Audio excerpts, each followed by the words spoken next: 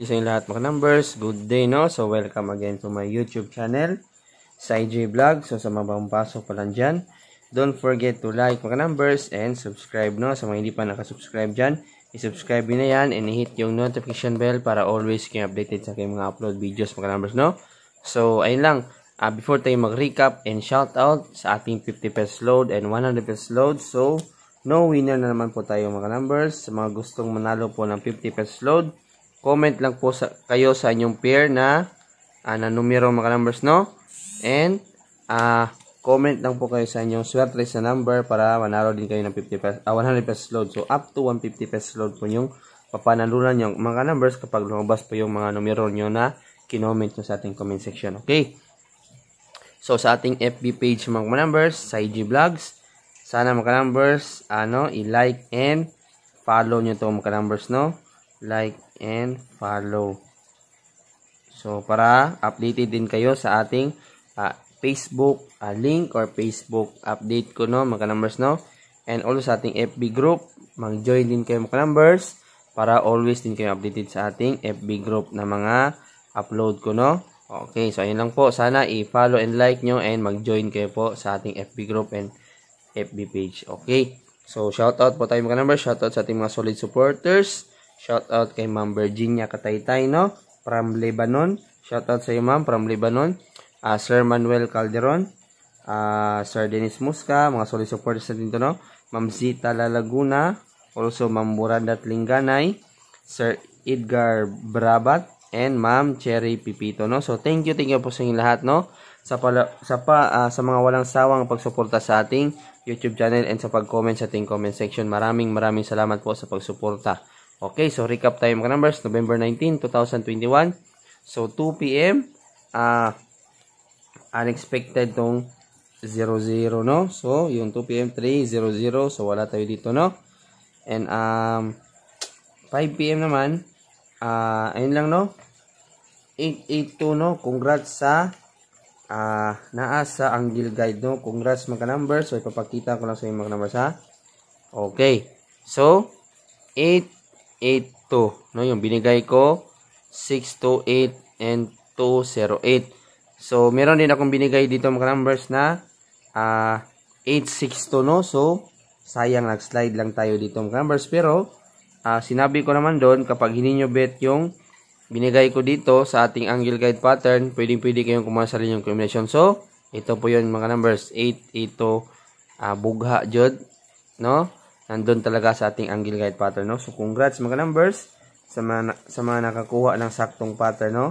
So, ayun lang, congrats sa mga nanalo. Kung meron mang nanalo mga numbers, please comment down below. Okay?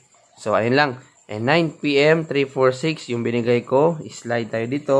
365 yung binigay ko mga numbers, no? Kahit rambolito lang man sana, malaking tulong na rin yun. So, sayang talaga, no? Uh, para 2 weeks sana tayo ngayong November 19. Sayang. And uh, yun lang, 4D natin mga numbers is 7197 and yung uh, last to natin is 97. Okay, so lang po mga numbers na, pag-check na lang and uh, para makabigay na po ako ng healing guides para sa November 20 araw ng Sabado. Okay. So, burahin ko na po mga numbers ha. Excuse me. So, again mga numbers, maraming maraming salamat sa inyong lahat no, pag, uh, sa pag-support sa ating YouTube channel. Sana hindi kayo masawang support mga members. And maraming maraming salamat nga pala no, sa mga nag-subscribe dyan. No? 6.1 subscriber na po tayo mga numbers. Maraming maraming salamat mga numbers. No? Uh, unexpected man yung 10,000 subscriber natin bago matapos yung, bago matapos yung 2021. Pero uh, wala imposible po mga numbers. No? Nothing is impossible. No? So ayun lang. Sana suportahan niyo mga, numbers ha. Uh, and syempre tulungan nyo rin ako nyo. Uh, tulungan ko rin kayo. Okay? So, ayun lang. Sana more subscribers and more viewers po tayo para mas happy, no? Okay. So, November 20. Okay. So, all draw, always mga numbers, ha?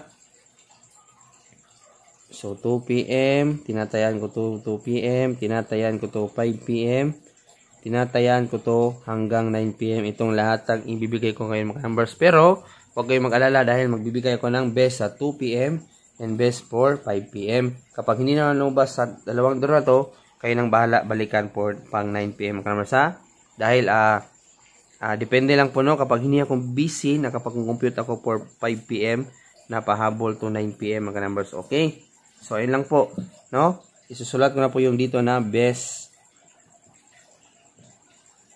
best tayaan excuse me po best tayaan sa 2 p.m. Okay. So, dalawang last to tayo dito mga numbers. Okay, so wag mo na kayo mag-skip mga numbers ha dahil uh, maswerteng maswerte po yung angle guide pattern natin, no? Okay, so ito yung dalawang last to natin mga numbers ha sa 2 p.m. Uh, 1.5 and 8.3, no? So, pwedeng pwede kayo magrambulito dito 5.1 or 1.5, 8.3 or 3.8. Kayo nang bahala mga numbers ha. Sa gusto lang sumabay sa last to, 1, 5, and 8 try kayo ng bahala kung gusto yung tayaan o hindi. Okay. So, ito po yung uh, kombinasyon natin sa 1, 5 mga numbers. Isulat ito ha. 6, 1, 5, target, and rumble. Okay.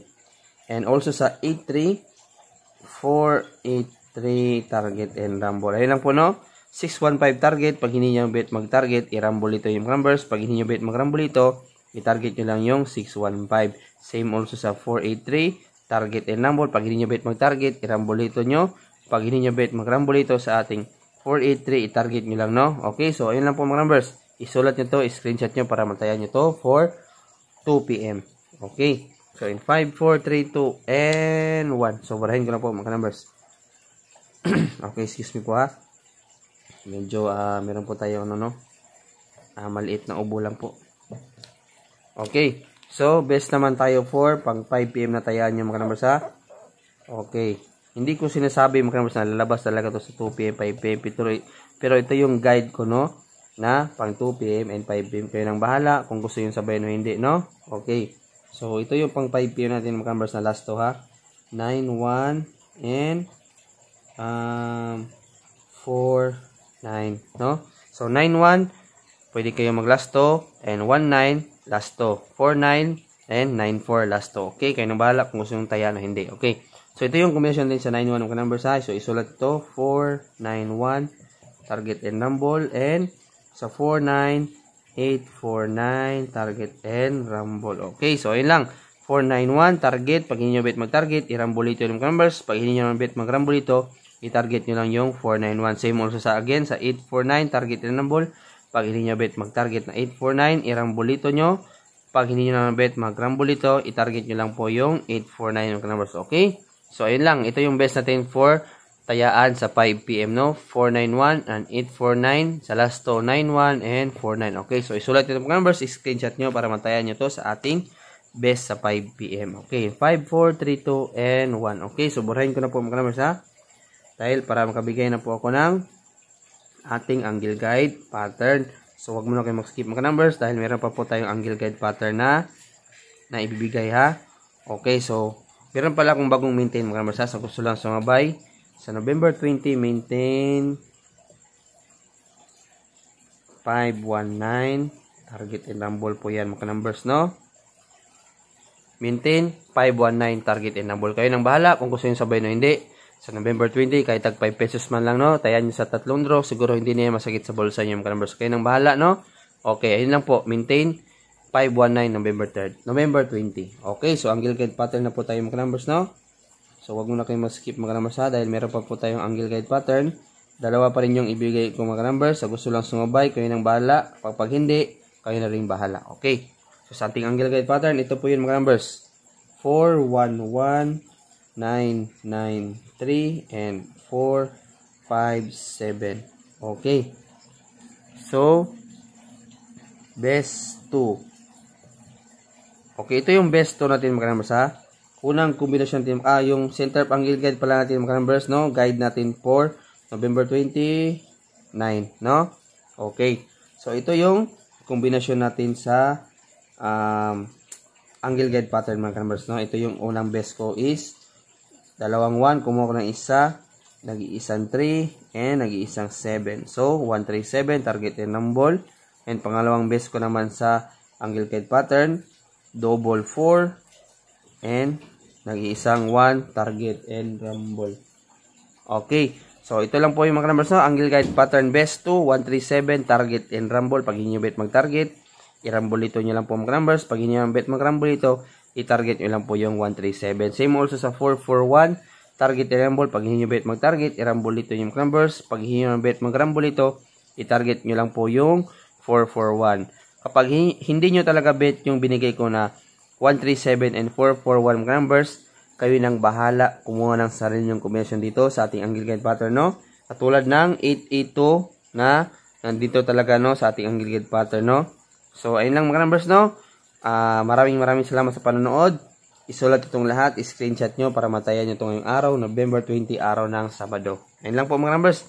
Um, thank you, thank you sila sa pagsuporta sa ating YouTube channel, SciG Vlogs. And syempre, huwag nyo kalimutan mag-like, and subscribe. Sa mga hindi pa nakasubscribe yan, isubscribe nyo na yan. And hit yung notification bell para always updated sa aking mga upload videos mga numbers. Okay, so yun lang po mga numbers. Good luck, good luck sa lahat ng tataya for November 20. And hopefully makatarget na tayo ulit, no? And ayun lang, good luck and God bless yung lahat mga numbers. And congrats sa mga nanalo. And bye-bye.